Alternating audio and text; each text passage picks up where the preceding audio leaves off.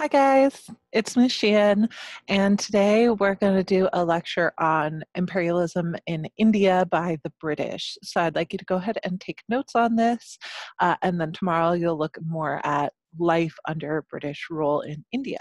Okay, let me go ahead and share my screen with you.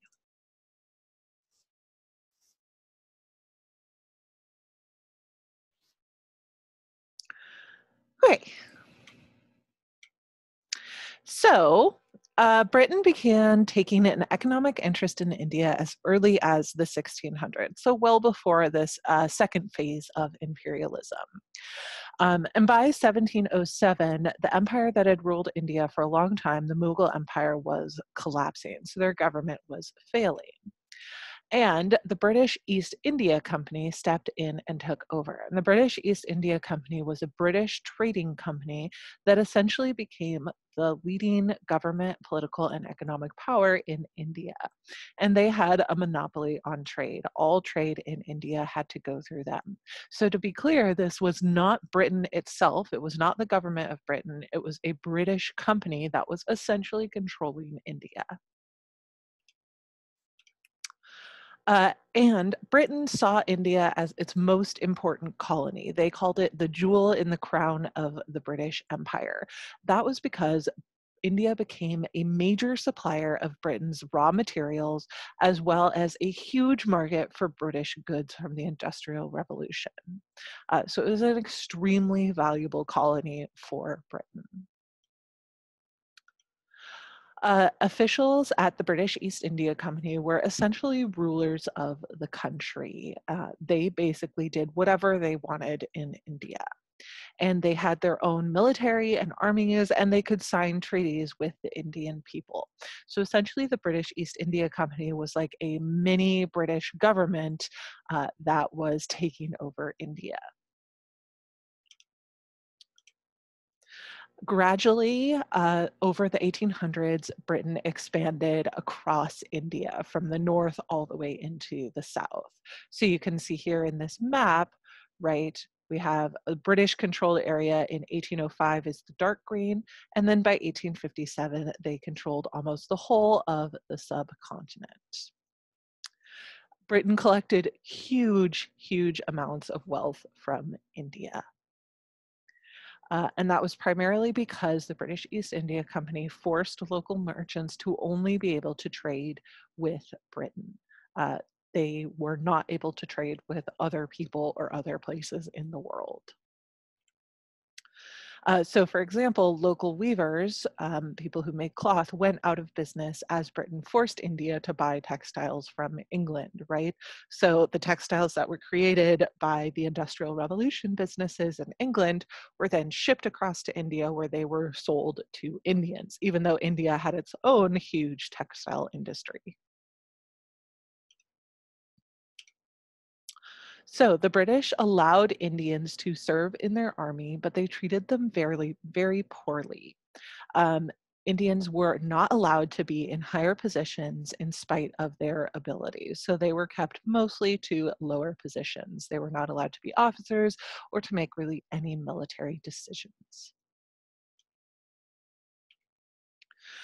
Okay, so Britain did bring some positive things to India. For example, they introduced modern technology. So, unlike Africa, where European imperialism was really about sucking resources out of Africa, um, Britain was really trying to make India into another part of its industry and another market for its goods.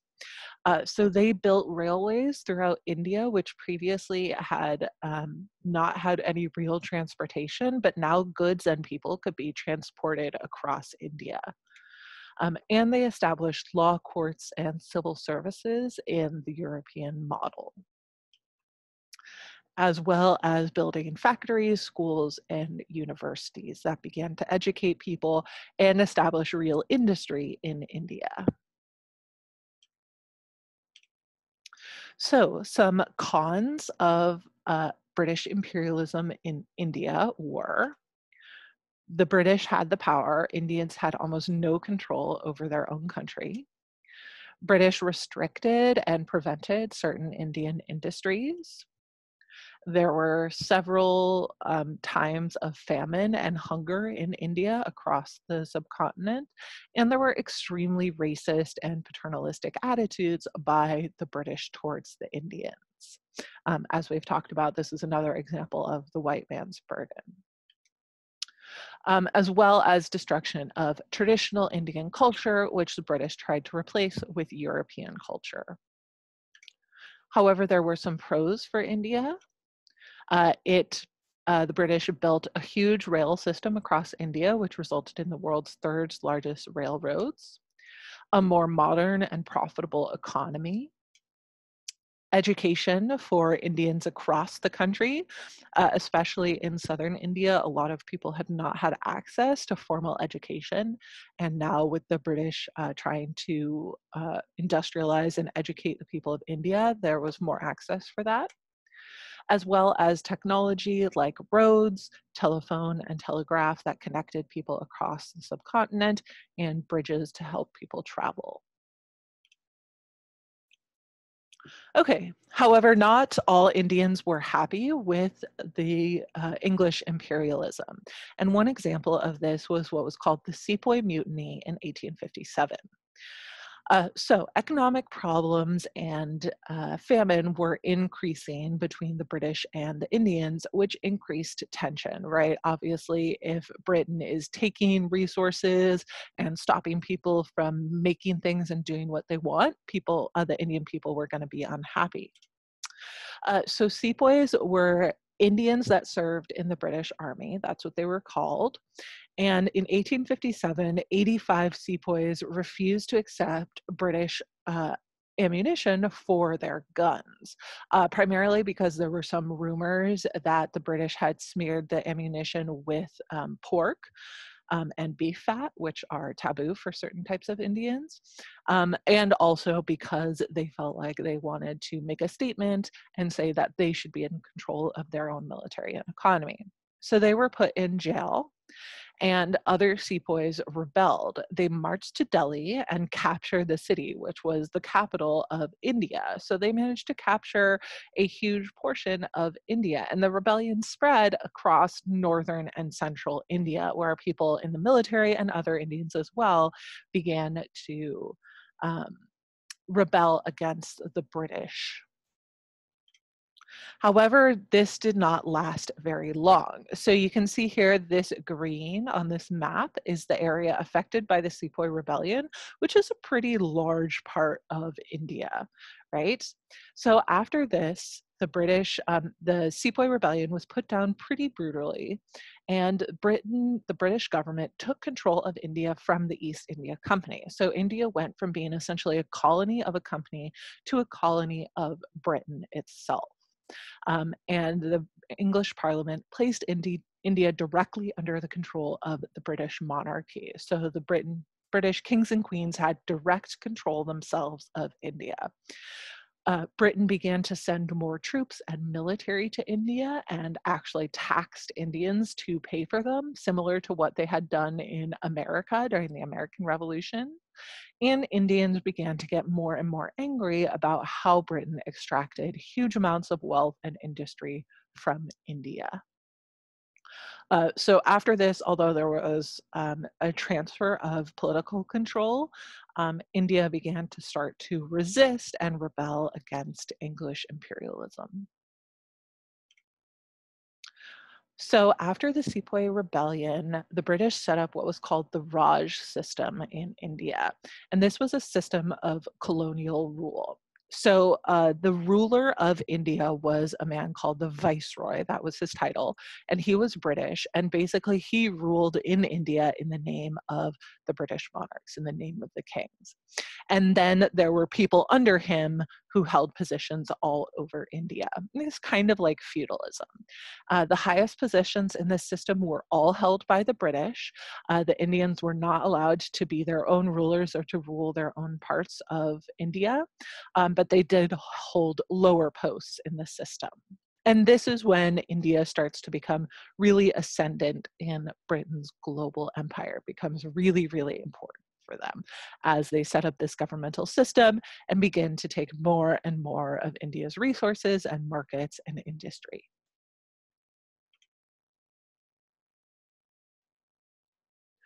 So, as I said, some of the benefits of this were a revised legal system, especially that promoted justice and equality regardless of the caste system that had been present in India for thousands of years.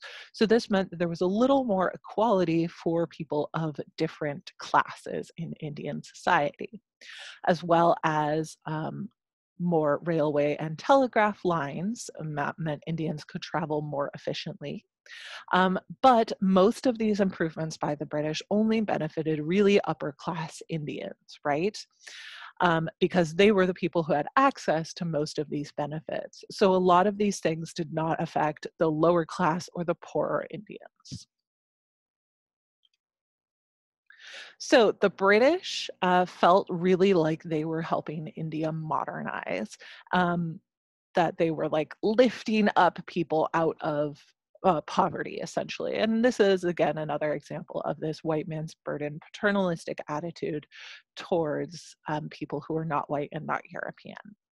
Uh, however, most of their policies really only benefited the British.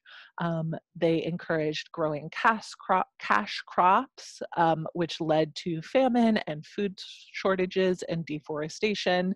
And they crushed India's textile industry, which was a big positive for the British because they got to sell all their textiles, but a big negative for the Indians. Uh, the Indians' attitude towards the British was divided. Uh, upper class and educated Indians began to participate more and adopt more um, British and European ways, but a lot of the lower class and especially the religious leaders opposed British style modernization. Because remember, uh, India was majority Hindu and then Muslim, uh, and British wanted the British wanted them to be Christian. And so, of course, people who were either devout Hindu or Muslim or were religious leaders opposed a lot of this British um, bringing over of values and culture. There were some people who attempted to integrate the British and India's ways of life. Uh, so, example, this man, Ram Mohan Roy, uh, who founded uh, some schools which provided uh, English style education to Indians. And he also advocated for, for the reform of some Indian practices, um, like the caste system, like child marriages, like sati, which was um, women killing themselves when their husbands died, and keeping women out of sight, um, which was called purdah, right?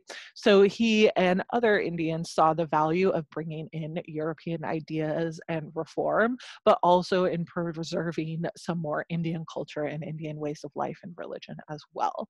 So there were a lot of people who wanted kind of mix the two. And then there were some people who wanted to go completely British and some people who wanted to stay completely Indian culture.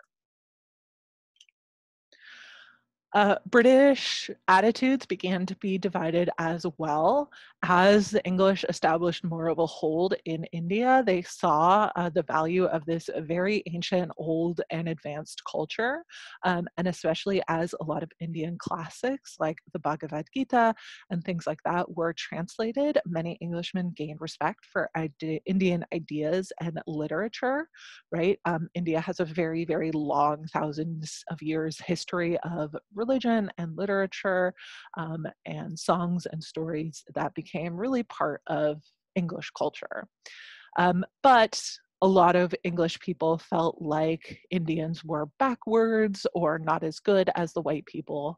Um, so they had little respect for cultural traditions and Indian religion or cultural values. So, over the years, over the really 100 years from 1857 to 1950, um, Indians began to push for Indian nationalism and Indian independence from the British empires.